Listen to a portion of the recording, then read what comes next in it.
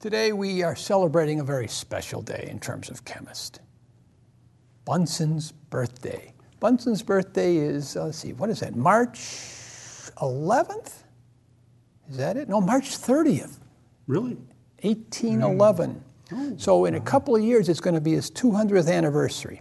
And one way I used to celebrate that in my class was to get a series of Bunsen burners, like you see right here, and they're hooked up with Y tubes. These can be glass, they can be plastic. Okay? We have two gas jets here. And here we have a nice cake. We scanned in a picture. You can have this done at many stores of Bunsen. So let me light the candle here first before I light the burners. And typically, if I were using this in my classroom, I would have this lights out when the students came in the room and these burners all lit. So if you could throw the gas on this one, Dwayne, I'll light these first so I don't have to reach over the lit ones to light the second set. That's, some, that's just a teaching tip, by the way. Light these ones first. The next teaching tip is go for these ones. Very good. Now, when the students come in and they're looking at this, they're going, What's this guy up to today? That makes your class interesting. If they see something bizarre going on every day or something a little bit different, that sort of gives you a little bit of charisma. You know, and the social studies teachers, what are they going to do? It's the War of 1812 today, kids. That may or may not be exciting, but here. That happened the year after he was born.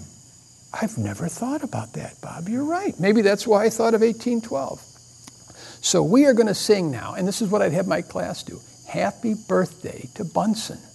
So on the count of three, we're all going to sing.